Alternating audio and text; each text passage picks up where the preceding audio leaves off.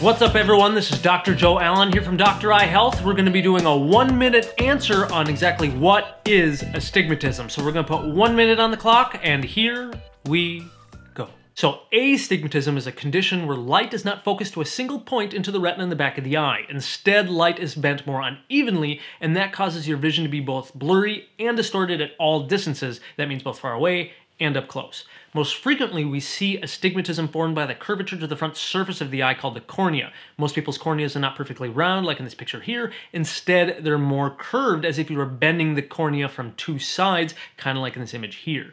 Because of this curvature, most doctors describe astigmatism as the eye being more shaped like a football rather than a basketball.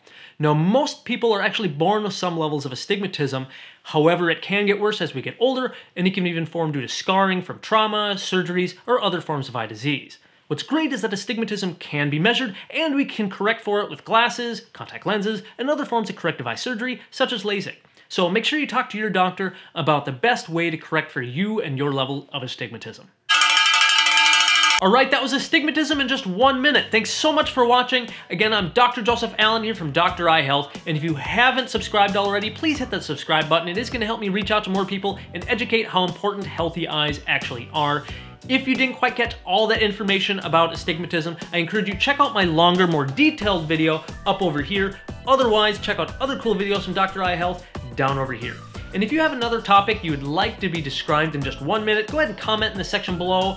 Otherwise, keep an eye on it, and we'll talk to you soon.